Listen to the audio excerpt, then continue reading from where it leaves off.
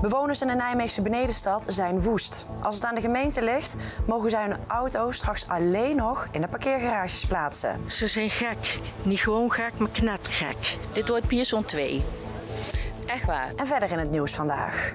Wiegen Lokaal wil strengere regels voor fatbikes. En tattooartist uit Elst valt overal in de prijzen.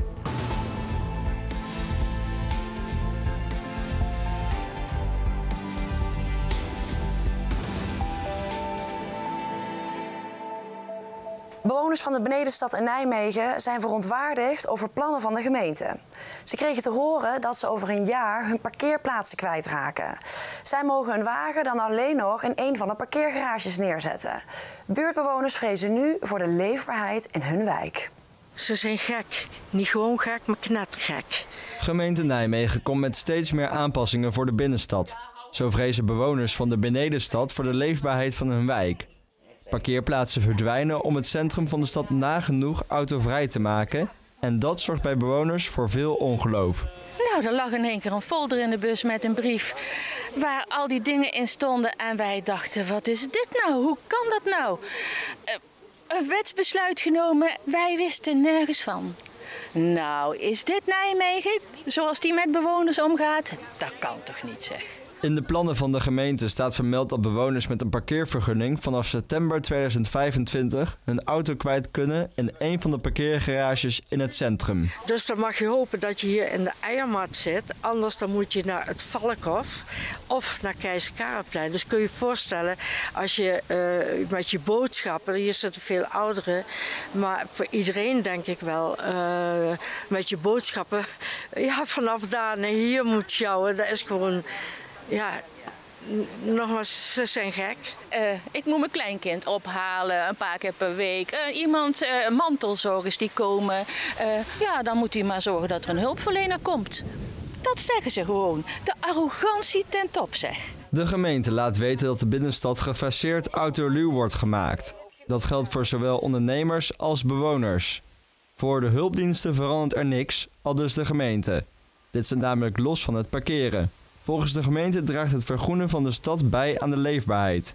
Om te zorgen dat de nieuwe inrichting van de wijk aansluit bij de wensen van de bewoners, gaat de gemeente in overleg over de mogelijkheden.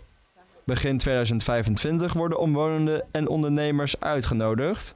Ondertussen hebben de buurtbewoners zelf al een bijeenkomst georganiseerd om een actieplan te maken. Dit wordt Pierson 2. Echt waar, wij gaan dit niet pikken. Dit plan moet gewoon van tafel. Zo is dit niet meer mijn stad. Maar wij gaan door totdat het weg is. We hebben gewoon geen andere keus, want zo wil je niet leven. Hoe kun je hier nou wonen? Hoe kun je hier nou leven als een, iemand in de gemeente zegt je mag maar één uur per week bij je huis komen? Nou.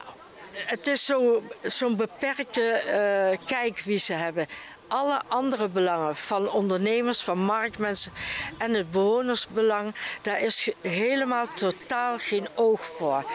Pisling ben ik, echt waar. Uh, ik ben heel erg teleurgesteld.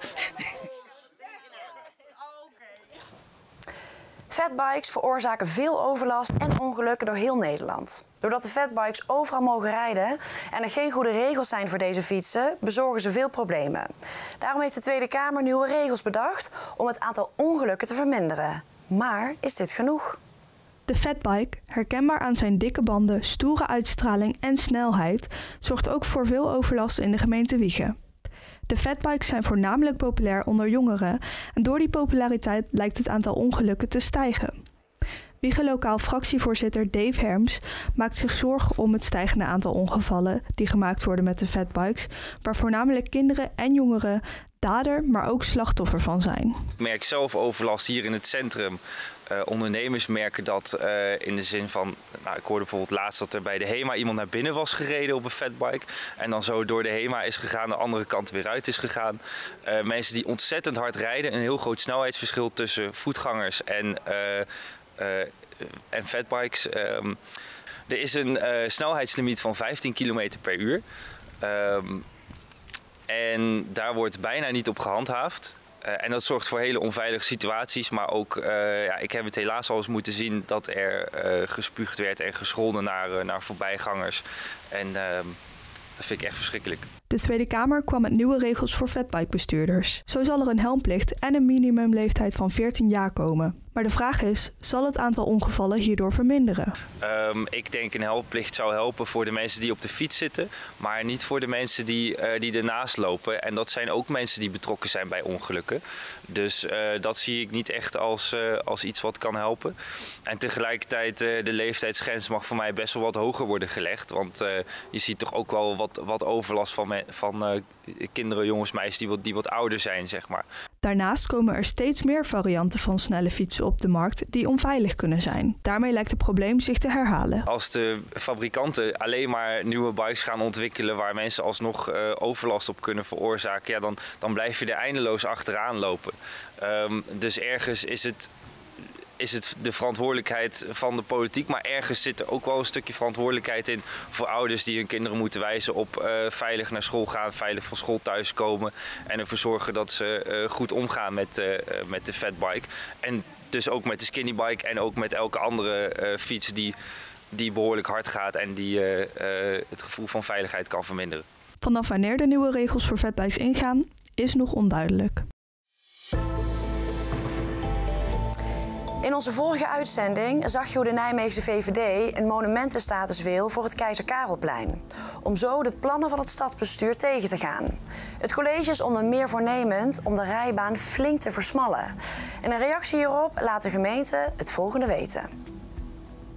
We zetten in het hele gebied in op veiligere en aantrekkelijkere routes voor voetgangers en fietsers en op betrouwbaar en toegankelijk openbaar vervoer.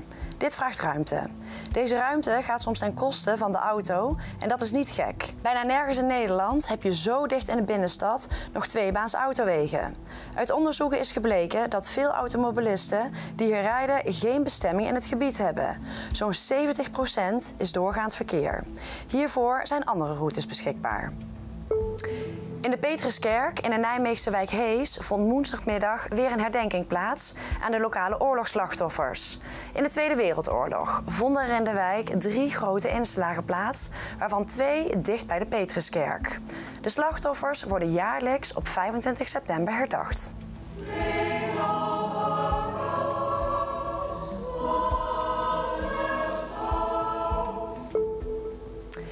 Eerste Goede Doelenweek in Wiegen is met succes afgerond. In totaal is er 95.000 euro opgehaald.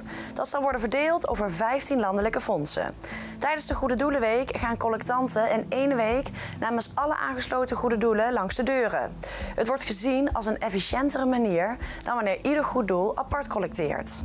Mensen kunnen zelf bij de collectant aangeven aan welk doel ze willen doneren. Het succes van de eerste Goede Doelenweek Wiegen heeft ervoor gezorgd dat het initiatief zeker een vervolg krijgt. Het voornemen is om de collecteweek dan in april 2025 te organiseren. Nederlandse F-16-straaljagers vliegen vrijdag informatie nog één laatste keer over Nederland na ruim 40 jaar trouwe dienst. Tijdens de afscheidsvlucht scheren ze met brullende motoren ook voor het laatst over de regio Nijmegen. Vanaf Volkel gaan ze via de vliegbasis De Peel richting vliegbasis Delen bij Ede. Tijdens dat deel van de vlucht zijn de toestellen van het allerlaatst boven de regio in Nijmegen te zien. Na Delen vliegen de F-16's in de richting van vliegbasis Twente, van waar ze koers zetten naar het noorden van het land. De toestellen stijgen om half twee vanaf vliegbasis Volkel en zullen kort daarna over Nijmegen vliegen. Het is Juliana 31 niet gelukt het hoofdtoernooi van de KNVB-beker te bereiken. De Maldenaren stranden in de laatste voorronde. De wedstrijd tegen FC Lisse werd na een 1-0 voorsprong met 1-2 verloren. Het verlies tegen FC Lisse betekent dat Juliana 31 niet in de koker gaat bij de loting voor de eerste ronde van de KNVB-beker. De amateurs van de Treffers waren na het winnen van een periodetitel in de tweede divisie al geplaatst voor het hoofdtoernooi en NEC als eredivisionist automatisch in de koker bij de loting van de eerste ronde. De loting is komende zaterdag en dan wordt bekend welke wedstrijden NEC en de Treffers gaan spelen. 38 prijzen won hij al. Tattooartiest Ivan Gordinko. Hij woont tegenwoordig in Arnhem omdat hij gevlucht is uit Oekraïne. In het tatoeagesalon in Elst staat hij mensen uit het hele land te tatoeëren die speciaal voor zijn kunsten naar de zaak komen. Ik uh, ben bezig met een uh, tattoo. Die wordt gezet door uh, Ivan. En um, ja, ik zit nu in mijn vijfde sessie. We hebben er nog een paar te gaan. There are gonna be the, this object of the phoenix. I'm gonna put a lot of accent and highlights on the face and on the nails, on some ending on the, of wings and feathers. And that's why it's gonna make the picture very detailed and high contrast. Dat is waar hij zo bekend om staat. Tatoeages in kleuren. De moeilijkheid zit hem in de kleur van de huid. Dat vraagt iedere keer weer een andere benadering. What uh, make it hard? Uh, her behavior. She cannot st sit still more than four hours, and we need to split uh, sessions. I don't know, like 15 or something like that. Session was. Normally, I made such uh, sleeve for six, seven sessions. En daar won hij dus al bijna 40 prijzen mee. Hij stond tegenover tattooartiesten van over de hele wereld. Er zijn speciaal mensen die voor hem komen zelfs. Hè? Ja, echt vanuit het hele land, soms zelfs vanuit andere landen. Especially when you uh, participate somewhere on convention, you have very short limit, time limit. And uh, you need to build picture, not too much traumatize it. Finish all this, finish all your project, how you was planning to do. Het kost een paar duizend euro voor zo'n tatoeage op je rug. Maar dan heb je ook wat. Kijk, ik kom speciaal voor het fotorealistisch gebeuren. En uh, nou, ik denk dat ik met Ivan de beste heb. Deze week hebben we weer kennis gemaakt met de herfst. Met vooral veel regen en dalende temperaturen. Toch is er een beetje goed nieuws, want richting het einde van de week wordt het weer even iets beter. De vrijdag is daarin nog even een overgangsdag met geregeld regen, maar tussendoor ook wat zon. Het wordt met een matige wind wel wat onstuimig en het kwik komt uit op zo'n 16 graden. Het weekend zal vervolgens in het teken staan van rustiger weer. Zaterdagmiddag trekken er nog enkele buien over, maar is ook de zon vaak te zien.